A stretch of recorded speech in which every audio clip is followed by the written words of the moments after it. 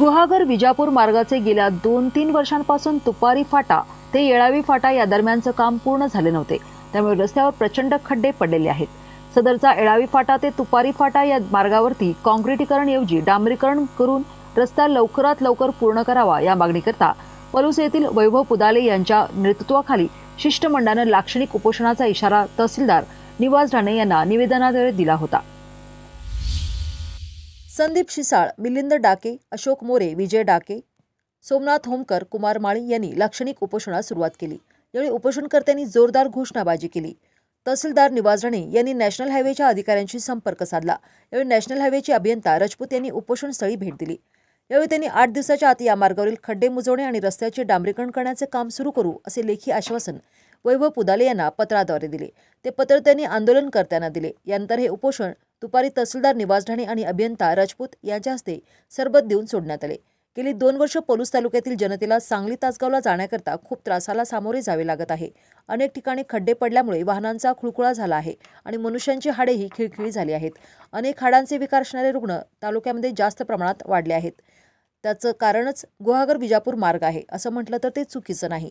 त्यामुळे सहनशीलतेचा पलुसकरांचा अंत झाल्यानंच लाक्षणिक उपोषणाचा इशारा देण्यात आला होता. सदरचं उपोषण सुरू झाल्यानंतर आमदार अरुण लाड तसेच युवा नेते ऋषिकेश लाड सुहास पुदाले खाशाबा दळवी पोलीस पोलीस ठाण्याचे निरीक्षक विकास जाधव तसेच अवजड वाहतूक संघटना व्यापारी संघटना रिक्षा संघटना शिवसेनेचे विनायक गोंदिल राष्ट्रवादीचे मारुती चव्हाण यांच्यासह अनेक मान्यवरांनी भेटी देऊन उपोषणाला पाठिंबा दिला. यावेळी बोलताना सुहास पुदाले म्हणाले जर आठ दिवसात कामाला सुरुवात झाली नाही तर अधिकाऱ्यांना सळोकी पळो करून सोडू आणि तीव्र स्वरूपाचे आंदोलन उभे करू असा इशारा पुदाले यांनी दिला.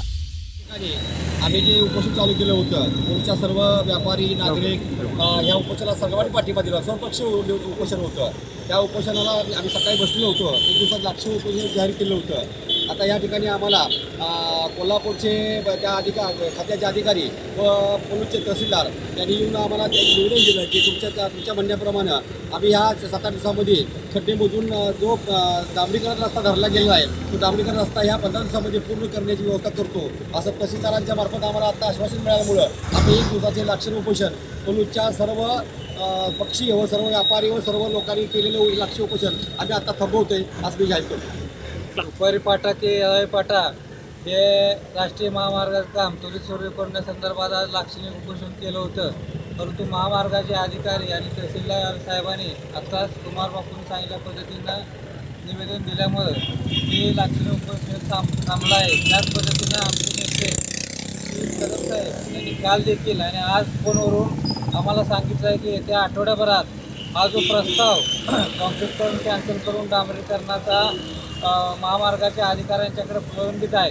या प्रस्तावाचा पाठपुरावा करून येत्या आठवड्याभरात या प्रस्तावावर निर्णय घेऊन लवकरात लवकर काम सुरू करण्यासंदर्भात कारवाई करतो असं आश्वासन बाळासाहेबांनी देखील आम्हाला पुरवून आता दिलं आहे. त्यामुळं आज ते लाक्षणिक उपोषण आम्ही या ठिकाणी असं जर झालं नाही तर काम सुरू? आणि दिलेल्या निवेदनाप्रमाणे जर लवकरात लवकर डांबरी खड्डे भरण्याचं काम डांबरीकरणानं सुरू झालं नाही किंवा नवीन डांबरी रस्ता करण्याचं काम जर सुरुवात झालं नाही तर मोठ्या प्रमाणात जनआंदोलन उभं राहून अधिकाऱ्यांना भेटी धरून आणि आमच्या सर्व लोकप्रतिनिधींच्या सहकार्यानं हे रस्त्याचं काम पावसाळ्यापूर्वी पूर्ण करण्याची आम्ही